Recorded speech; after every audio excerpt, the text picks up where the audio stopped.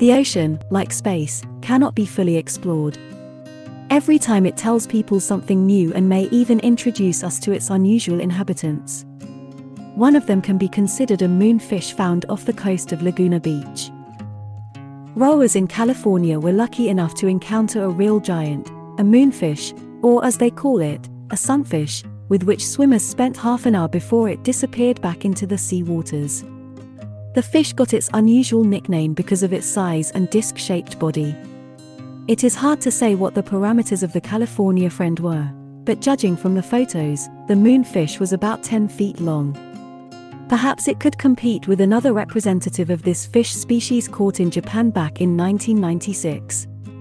At the time, the sunfish was considered the heaviest in the world. Its weight reached 5,070 pounds and its length was about 10 feet.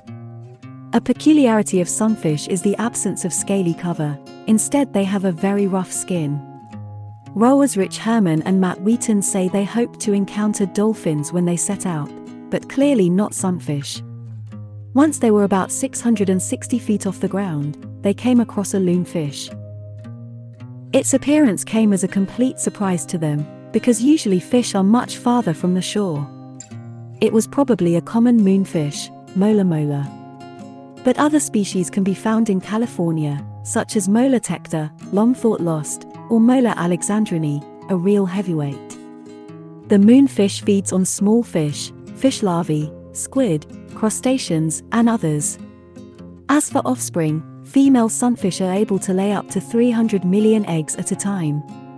In contrast to their enormous parents, their fry are tiny, only less than one inch in length. Because of this large difference between the adults and the offspring, scientists have to sequence the DNA of both to be sure they belong to the same species.